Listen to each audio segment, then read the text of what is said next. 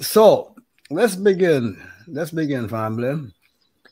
And we say breathing, you see, but uh, let's let's use the the Latin word. You know, res, respiratory system, respiration. You know, Spanish say respirando.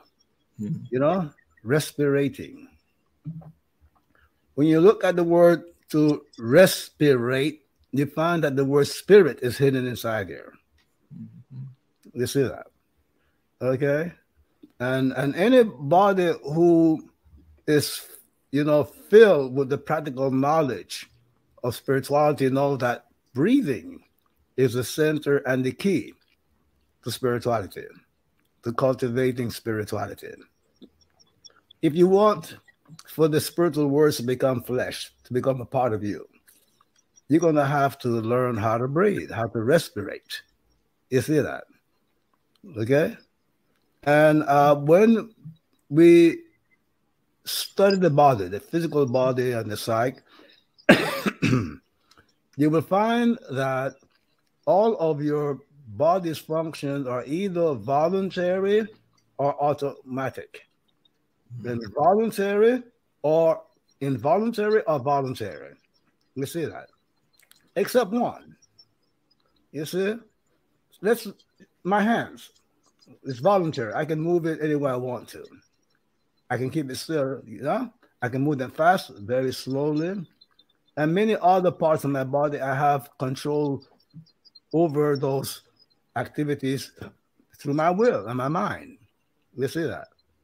But then when it comes to the blood pressure, circulating of blood, you see, you know, digestion of food and things of that nature, repair of the body, those things happen involuntarily. Mm-hmm. So all of our bodily functions are either voluntary or involuntary, save, save one of them. And that's the breathing system, the respiratory system. You see that when we're not thinking about it, we are breathing involuntarily. You see that? It goes on, but I have to directly think about it and so on. But we can hold the breath. We can speed it up. We can slow it down.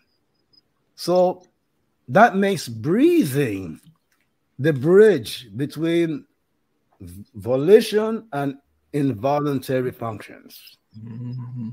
You see that? It is the hub between the two. So if I want to be able to control volu- involuntary functions like you know blood pressure and things of that nature, I do it through the breathing. You see that? Mm-hmm. Because the breathing gives me access to the within, the deep within. You see that? Mm-hmm. Okay. And the technique for going deep within, we call it meditation. You see?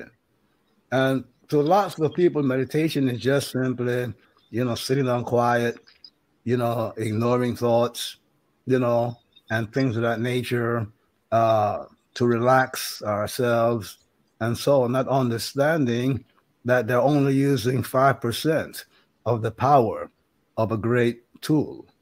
You see that? In this Western world, you know, we have been impressed with the importance of learning to, you know, con- to, to conjugate words and parse words into poems and essays and, you know, and lectures, you know, novels and so on. We, we learn how to you know, uh, the different mathematical, you know, functions and processes and procedures.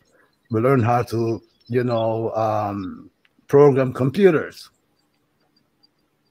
And the way that is going, pretty soon the computer is going to start programming people. Programming us.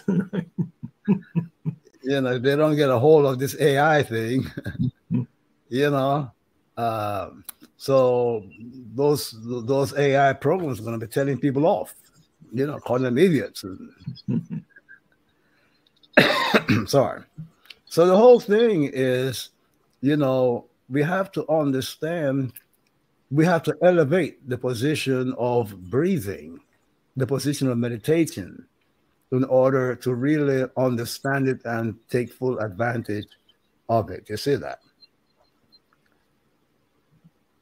if you go on the internet and Google or Bing the word meditation, you will come across statements that, you know, meditation, especially what is the vogue that they call mindfulness meditation, you know, enable people to grow more, you know, uh, gray matter, you know, uh, white matter uh, cells in their brain, you know, and things of that nature. Something that was thought at one time thought to be impossible. They thought that you were you were grown, you were born with all the brain cells that uh, you you can have. So good news, you can grow more cells, become smarter. You see that. So the whole thing is when you read those articles, there's a striking statement that the scientists who've been studying meditation, you know, they will tell you they don't know how meditation heals, how meditation does those things. We see that. But the truth is, is that there are people who know, have known for the longest time. We see that. And the answer is a common joke about meditation. You know, people who like to make fun at meditation, they say, oh, but meditation is a process of somebody sitting down, you know, watching their belly button. You see that? Not understanding that that joke, you see, covers a great wisdom. You see that? What's behind your belly button? You see that? Is in that area, a little above and beyond and surrounding the belly button, the navel, you see that, which is considered the the equatorial center of the body, if you're into, you know, psychical, you know, geometry.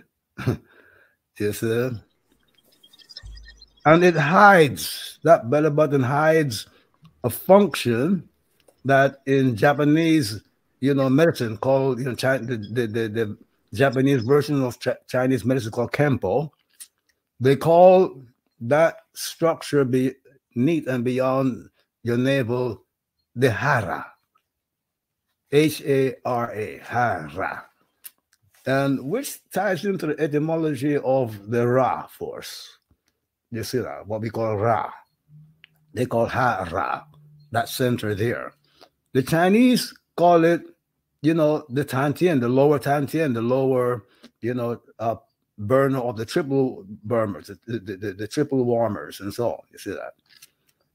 And so the thing is, is that if you are meditating, doing qigong, tai chi, um, you know, ma- martial arts, you know, uh, anything that requires, you know, concentration, anything, you know, you're playing football and you you, you got to summon strength and you know playing basketball and you got to summon that rapid flexible movement. You see that? If you're not engaging you know the hara or the tantien which in western medicine is called the vagus nerve the function of the vagus nerve then you are not getting the best that meditation and exercise and martial arts can do for you. You see, I see a lot of people doing, you know, ex, you know, qigong movements and tai chi movements, and they ignore this hara, this vagus nerve. You see that? You see, and and the thing is, is that you know, meditation heals. Meditation develops, you know, the the brain, the nervous system. It repairs the whole body through the activities of the hara, the tantien the lower tantien, or the vagus nerve. The vagus nerve is the big, the largest nerve. You see that in the body. And the most important, you see, when you engage it, it sends energy to certain critical parts of the brain, especially the waking centers of the brain, which, you know, play you know, a global, a, you know, um, uh, an extremely important function in spirituality. You see that? Okay. Uh, there is a chapter in one of the most illustrious books out of ancient Egypt. People call it the people call the book the Book of the Dead. You see that? Um, it's not the Book of the Dead. That's the name that the Arabs gave to it. You know, the so-called Egyptians of today Other people call it the Pertem Heru, becoming awake. You see that? Awakening is the most important thing in spirituality, becoming fully awakened. Meaning, when you're fully awakened, you have full use of the will. When you're awake and when you are in the meditation state. Because when you're in the meditation state, fully awake, you are able to direct your psyche and your mind to heal you and to change your physical and social environment. You see that? Meaning, by your by your social environment, I mean to change things in, on your job, the school, your performance, people around you, how people relate to you. You know, and of course, you're going to do this in a in, in a legitimate, legitimate, loving, win-win manner. You see that? You, you got to learn the rules of using the powers of your will and the powers of the spirit once you learn to awaken and improve them.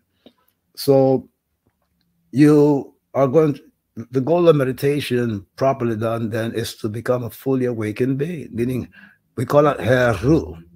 You see that? The fully awakened being. You see that? because the meditation techniques, you see, where you stimulate the vagus nerve, there's a sense, you know, electrical, electromagnetic energy to the waking centers of the brain.